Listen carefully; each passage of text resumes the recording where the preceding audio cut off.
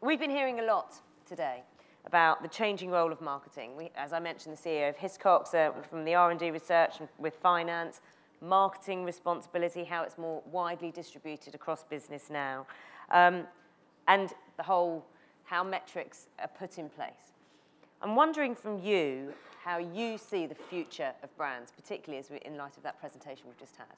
Yeah, I, look, I think it's a, it's a fascinating uh, time to basically be in the industry that we're in because now more than ever, I think consumer expectation is an all-time high and is constantly getting reset. And as we, as we heard, one of the things we really need to find a way to do is connect these brands to consumers in meaningful ways when perhaps in times gone by, the brand competition at the level that it exists today didn't. So I think the role of brands is ever more important, right? I think how you go about actually building that relationship with the consumer is exponentially more complex. And I think how you go about sustaining that relationship over a period of time, and particularly building a, a relationship of trust, as we've seen uh, you know, in, in recent times, uh, you know, constantly getting challenged. So from my perspective, I think brand is, is importance is an all-time high the ability to land brands in the minds of consumers is, uh, is a lot harder to do it's do. interesting that you mentioned the word trust because I think what, one thing I've learned today from listening to everyone is about,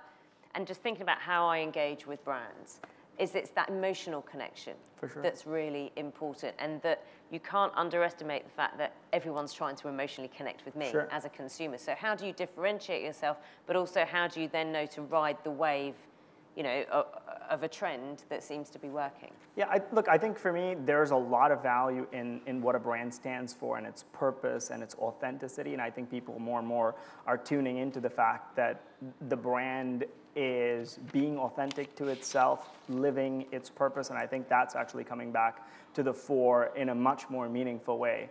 But I also think there's another big shift, uh, which I think has been developing over a long period of time which is the experience is the brand and the brand is the experience. So no longer am I comfortable with just being told about you as a brand and your uh, you know, fantastic communication, but what I experience as a consumer now starts to define more and more my belief system in you as a company. And, and, and those interactions are far more frequent and far more iterative in building up my perception or taking away from a brand. So what uh, about marketing communications then? Has that dropped down in terms of um, well, well, it's necessity? In, it, well, I think it's interesting, right? Because I think in the traditional sense, I think the brand story or the brand narrative used to be thought about in the context of being told. Yes. Right? But I actually think today, from a consumer's point of view, that brand story is more being lived, is being experienced. And that living the brand story to me is actually part of that same communications arc or communications narrative, but is actually communicating through what you experience as opposed to simply telling you something. So I think in the traditional sense, right, I mean, you take the classical example of the airline that shows you, you know, a child sleeping and, you know, somebody gently pulling the blanket over them to suggest warmth and caring and comfort. Of course, that gives you a sense of perhaps what that airline stands for. But then, you know, when your data gets hacked or your bag gets lost and uh, or you're trying to check in and the boarding pass won't appear on your mobile app, those interactions create as much dissonance with that idea as, as anything. And then actually, uh, my argument, firstly, personally for me, is I would tend to believe that about a company, that which I experience, far more than simply just what I'm told. So then again, it kind of goes back to the marketing is almost less important if the fundamentals of the company aren't working. So how do, so what does the relationship then become between the marketing department and the fundamentals of the company? Yeah, well, see, this is actually the thing, right? I think for the longest time, marketing departments were kind of constructed in the context of we do the real thing, we run the company, you simply tell the story. And if the story and the real thing have some significant dissonance between it, tell a better story but just leave us to actually continue doing whatever it is that we were doing. And I think more and more now, progressive marketing departments are starting to realize that the purpose and the narrative of the company has to be experienced and lived by consumers every day. and no longer can that cognitive dissonance between what I'm being told and what I experience allowed to perpetuate. So my experience is marketeers are going one of two ways. One way is getting significantly more influential in companies and taking on roles that historically might not have been considered marketing roles. They're becoming champions of the voice of the customer in these organizations. They're starting to influence product strategies. They're starting to influence the business at its core, representing and still championing that very important voice, i.e., the customer. But in another way, I can definitely see where marketing isn't taking that positioning. It becomes simply a vehicle to be reduced to this one aspect, which is communications. Tell this story. You know, these are the people who run the company. You simply tell this story. And I think that model will, will, will really challenge both the marketeers and the company and the company overall because I'm a firm believer in the the consumer out there wants to understand your story, but they also want to make sure that that story is authentic and isn't something that they don't experience on a day-to-day basis with every interaction.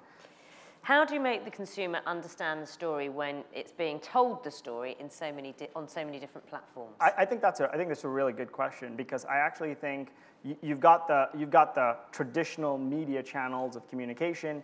You've got the channels that the company is using to interact with the consumer, and then you've got perhaps some of the other social channels that are basically you know kind of allowing consumers to form a perspective with your company.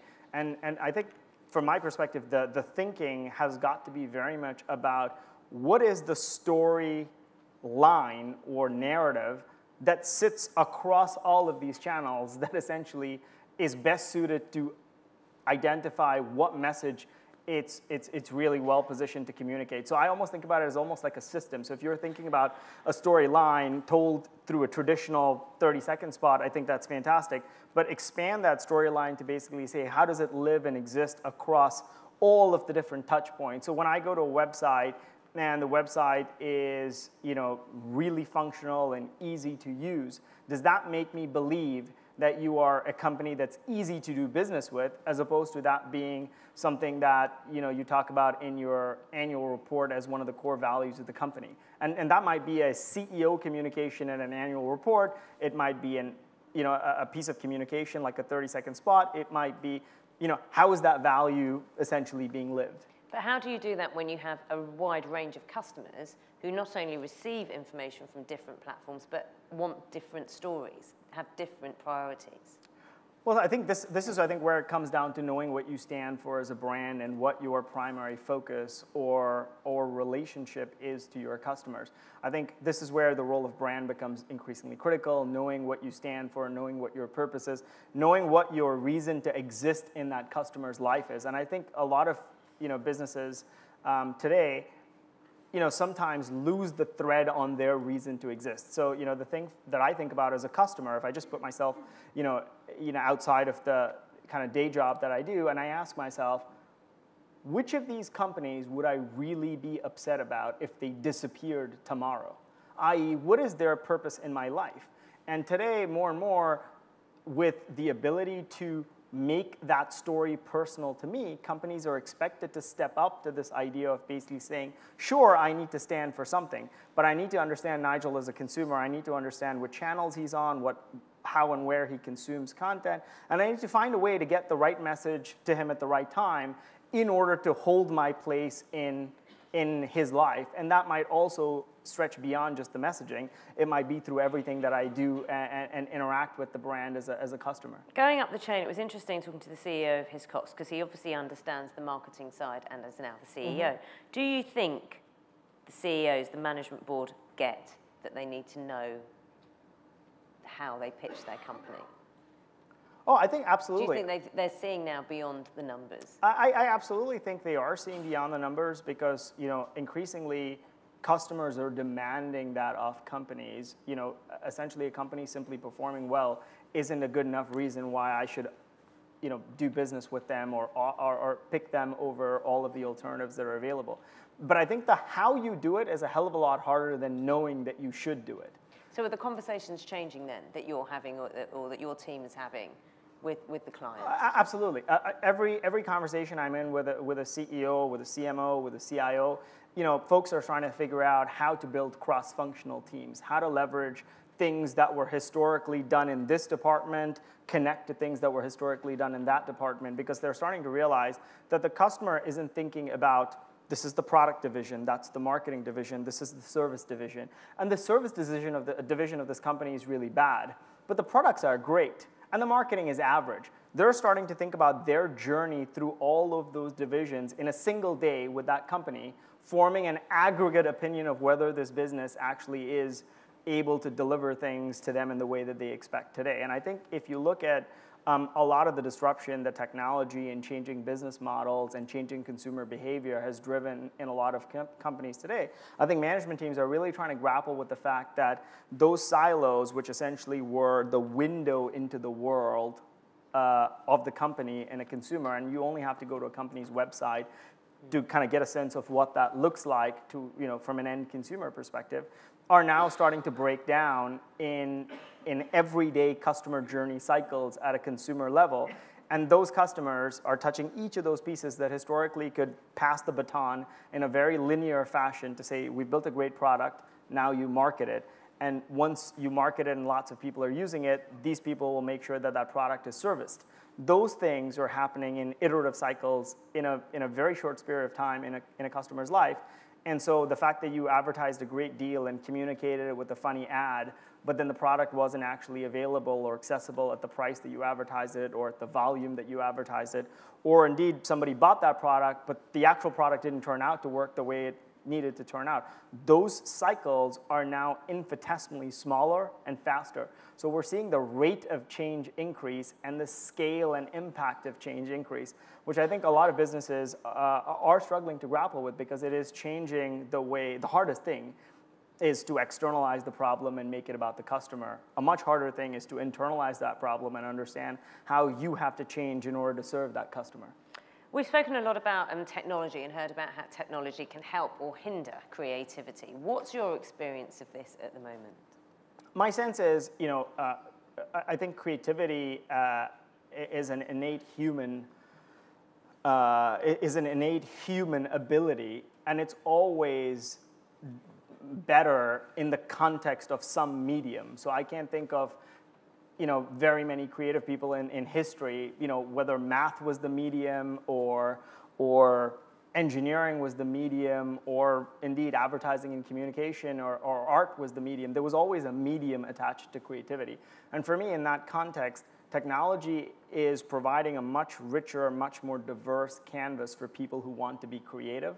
I do think from the perspective of our industries, I think we have to widen the definition of creativity to allow it to be more inclusive and bring more people into the conversation, as opposed to the kind of classic assumption that creativity is somehow owned by the people who, who, who call themselves creative or who are called creative by, uh, by the model as we understand it today. Some of the most creative companies in the world are fusing skills like metals engineering and design with amazing communication, with really complex engineering. And the creativity that that brings out, from my perspective, is far richer than the kind of traditional linear form of creativity, no matter which discipline you, uh, you come at it from. You've mentioned that you have conversations with CEOs, CIOs, CMOs, um, and they're all a bit more clued up now when sure. it comes to brand awareness and sure. how to project their brand. What's the future of agencies? How, does the, how, do, how do agencies' roles need to change?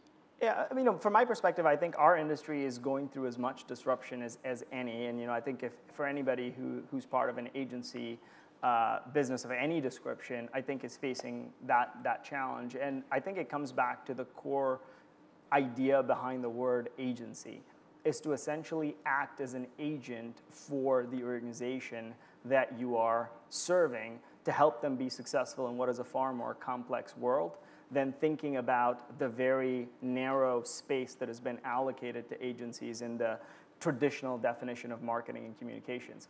My belief is, like I said before, brand and, and, and, and, and people who represent the customer are only going to become more important but what it's going to take to serve those people as their remits widen is going to require agencies to significantly broaden the skill sets, the capabilities, but also think about new business models because I actually think that one of the biggest challenges in the agency space is we're still constrained by the traditional model of basically talking about you know, people times cost equals, mm. uh, you know, people times rate equals a cost for a particular ask, which is a very classical effort-based model. And I think far more the conversation has to shift towards outcomes and thinking about how we can help some of these businesses drive outcomes in a more meaningful way and be confident enough in our ability to get compensated on the basis of those outcomes. Now, I, have been in many conversations when you have a really good approach or regular strategy and the client says, I'd much rather pay you for the effort, thank you very much, because the outcomes are gonna cost me a lot more. But I think more and more that, that conversation is one we have to be in. Uh, because I think it, uh, it determines how much belief we have in our ability to actually generate or create that value. I have loads more questions, but I've got the feeling that people will have questions for you, Nigel. Eh, does anyone have any questions? Otherwise, I'm going to continue because I've got loads to ask. Come on, really? you know, they're thinking about the party tonight. Right. right. I'm sure it's great. Business transformation. I was reading out, reading out your, your title. Why is business transformation in your title? Surely that's just uh, assumed, isn't it? Uh, well, it is. It is definitely assumed. And in, in my case, in, specifically, it's just designed to engender a focus on us making sure that we're trying to help our clients be more transformative and we're thinking about new business models, new approaches, new skill sets, which, which we might not typically have brought together in order to engender that outcome. So it's designed to act more as a catalyst as opposed to a, uh, uh, you know, a permanent state. So give me, give me an insight into your day job then, what, how business transformation kind of works in your, your day job to transform the agency. Well, yeah, I, I, think there's, I think there's two things, right? My day job almost always starts with a client and a problem, and then reflecting on that client problem in the context of how we might go about approaching those. And almost every interaction leaves me recognizing that their businesses are significantly impacted by all the change they see around them, which in turn impacts our business materially in the way that we need to step up to help address some of those challenges and, uh, and, and, issues. And as I, you know, I just came from, uh, from, from meeting the CEO of a very large uh, uh, company just this morning in, in, the, uh, in the financial services space. And, and the business, as it stands, is going through a huge challenge with regulation, changing consumer behavior, the need to be more efficient in cost, not just in the context of marketing, but in the context of the business more broadly, um, and prioritizing investments. And, and in that context, to identify a path through which um, we can help identify where and which strategic priorities we might be the right partner for against those is a constant reflection on the capabilities and the ability we have today and the capabilities and ability we'll need tomorrow to start to address some of those things. Um, huge challenges, disruption, competition. These are words that are bandied around the industry, uh, and rightly so, around many industries. And um, we started the day um, with Lorna Halting, who um, had a phrase. She, she described optimism as a muscle you can train. Yep. How optimistic are you at this moment in time about driving your vision forward and that for others in this room can do the same? I'm very optimistic. I think it's, there's never been a better time to be alive in the context of our industry. And in the context of the world, it's a different question. But in the context of what we do specifically in, in our business, you know, we're seeing more innovation, more change, more in terms of expectations from customers. And I think if you, you can take a look at this and go, you know, change is really hard and, and you know, this is really going to be disruptive or difficult, or you can kind of lean into it, looking at it as an opportunity to to step up and do something that perhaps you might not have done historically. And I think for for all of us in the space, I think we're about to kind of go into a, a you know a, a period of time, and we probably are already in that period of time where we're going to see a really big opportunity to step up and play a much more strategic role in the partnership of our clients' businesses. Um, and of course, the downside of any of those changes is, you know, not doing that correspondingly, I think changes very significantly how they go about thinking about their partners. It's a good note to end on. Nigel, thank you, thank you very much. Thanks, thank you for your time. Nigel Vaz, thank you.